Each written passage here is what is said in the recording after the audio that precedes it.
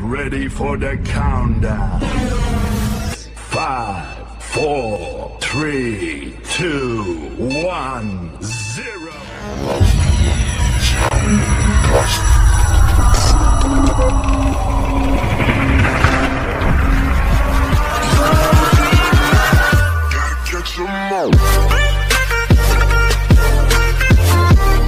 Assalamualaikum warahmatullahi wabarakatuh Balik lagi di channel Inti Mas Motor Oke guys, kali ini gue mau kasih tahu dan tips cara pemasangan packing blok silinder Aerox 155 yang anti bocor-bocor yang kita menggunakan lem ya.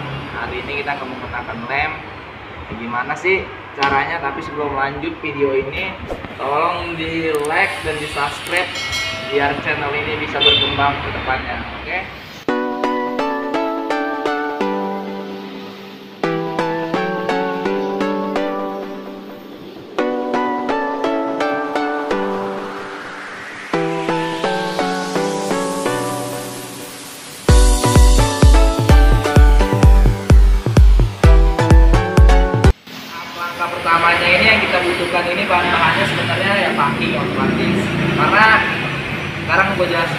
sebentar sedikit eh, kenapa kita nggak menggunakan lem di metode pemasangan packing ini? Karena kalau kita pakai lem ini pakai lem jenis kayak lem tribun ini kita pasang dan dia bakalan memuai karena dia sistemnya radiator karena di sini itu kan ada jalurnya ada buat sirkulasi radiator. Kalau kita pakai lem itu lama kelamaan lem itu akan bakalan menggumpal dan bakal mengha- menghambat jalurnya si radiator ini makanya sekarang kita menggunakan sistemnya pakai guys nggak usah berlama-lama langsung kita eksekusi.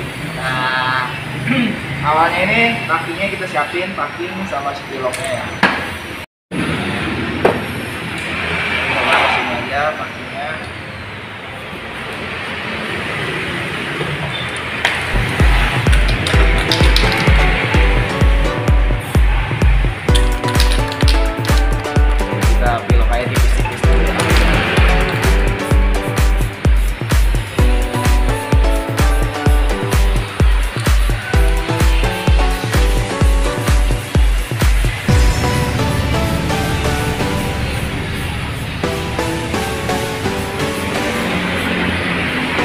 Udah gini kita tunggu kering dulu bentar ya.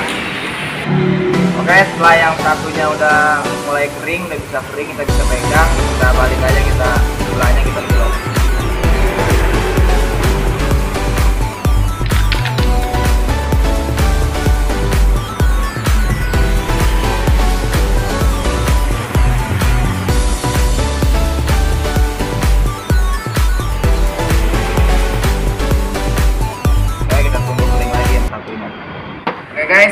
Kita tunggu berapa menit, nah ini udah kering lah. Nah, udah bisa dipegang juga. Langsung aja kita pasang ke bloknya.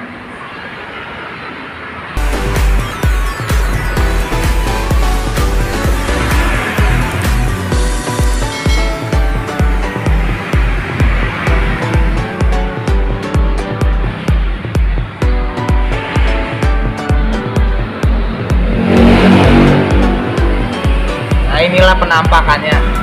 Seperti ini kalau udah di pilok lebih rapi lah dibandingin kita pakai lem. Oke langsung kita pasang aja bro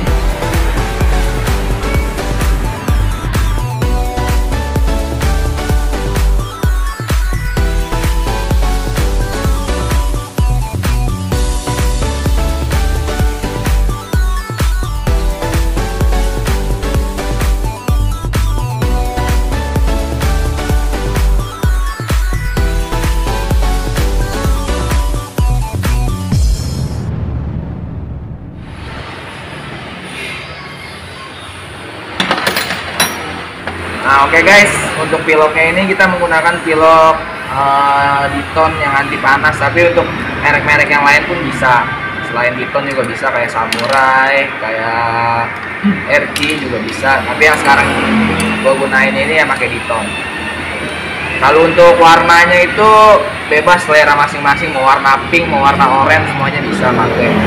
Ya karena gue di sini pakai warna silver ya karena biar kelihatan aja karena kan packingnya ini aslinya warnanya hitam jadi gue pakai warna silver tapi untuk warna sih balik lagi ke selera masing-masing Oke okay guys, cukup sekian lah tutorial hari ini dari gua. Semoga bisa bermanfaat bagi kalian, juga buat motivasi juga biar kita kerjanya biar enak juga, biar ya kerjanya biar aktif lah pokoknya. Pokoknya tips dari gua sih gitulah, pokoknya kita jangan pakai lem.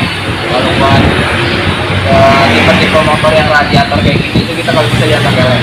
Tapi kita pakai ini aja lah alternatifnya. Sebenarnya pun kalau motor uh, sistem radiator ini pun kita nggak pakai pilok kita pakai packing yang baru pun kita pasang aja nggak ada masalah. Cuman kalau kita mau pede lagi ya pakai ini aja dibanding pakai lem. Oke okay? dan terakhir ya. Kita bantuannya juga. Jangan lupa di like di subscribe biar bisa tembus di 1000 subscriber biar bisa ke depannya channel ini bisa berkembang lagi. Oke okay, guys? Terima kasih. Salam yang mahasiswa semakin di depan gaspol